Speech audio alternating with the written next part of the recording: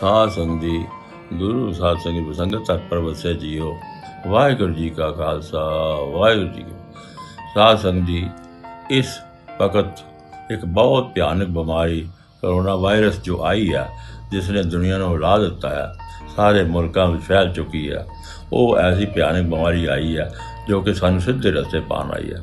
ਕਿਉਂਕਿ ਅਸੀਂ ਪਰਮਾਤਮਾ ਤੋਂ ਵਿਛੜੇ ਹੋਏ ਹਾਂ। ਇਸ ਕਰਕੇ ਸਾਡੀ ਵਿਲ ਪਾਵਰ ਕਮਜ਼ੋਰ ਹੋ ਜਾਂਦੀ ਆ। ਅਸੀਂ ਪਰਮਾਤਮਾ ਨੂੰ ਦੂਰ ਹੋ ਜਾਂਦੇ ਆ।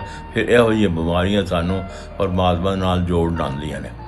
ਦੁੱਖ ਦਾਰੂ ਸੁਖ ਰੋਗ ਪਿਆ। ਗੁਰਮੁਖੋ, ਇਸ ਕਰਕੇ ਟੈਨੀਆਂ ਕਲਾਂ ਤੇ ਨਹੀਂ ਜਾਣੇ। ਇਹ ਬਿਮਾਰੀ ਨੂੰ ਇੱਕ ਦੂਰ ਕਰਨ ਵਾਸਤੇ ਸਾਫ਼ ਸੁਥਰੇ ਰਹੋ। ਇੱਕ ਦੂਸਰੇ ਪਿਆਰ ਕਰੋ, ਮਦਦ ਕਰੋ ਔਰ ਪਰਮਾਤਮਾ ਦਾ ਨਾਮ ਲਵੋ। ਆਓ ਸਾਫ਼ ਸੁਥਰੇ ਪਰਮਾਤਮਾ ਨਾਮ ਲੈ ਕੇ ਔਰ ਇਹ ਕਰੋਗੇ ਆਪਣਾ, ਤਾਂ ਫਿਰ ਵਿਲ ਪਾਵਰ ਐਸੀ ਸਟਰੋਂਗ ਹੋਏਗੀ ਕਿ ਬਿਮਾਰੀ ਆਪਣੇ ਆਪ ਹੀ ਹਟ ਜਾਏਗੀ। ਇਸ ਕਰਕੇ ਪਰਮਾਤਮਾ ਨਾਮ ਲੈਣਾ ਸੁਣ ਕੇ ਜਮ ਕੇ ਦੂਤ ਨਾਏ ਤੇਰਾ ਛੱਡ ਜਾਏ। ਅਗਰ ਉਹਦਾ ਨਾਮ ਲਾਂਗੇ ਜੂ ਦੂਤ ਵੀ ਜਾੜੇ ਜਮ ਦੂਤ ਛੱਡ ਜਾਂਦੇ ਨੇ।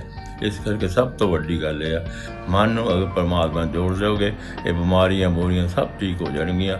ਔਰ ਫਿਰ ਅਸੀਂ ਇੱਕ ਦੂਸਰੇ ਦੀ ਮਦਦ ਕਰਕੇ ਪਰਮਾਤਮਾ ਦੇ ਨਾਲ ਮਿਲਾਂਗੇ।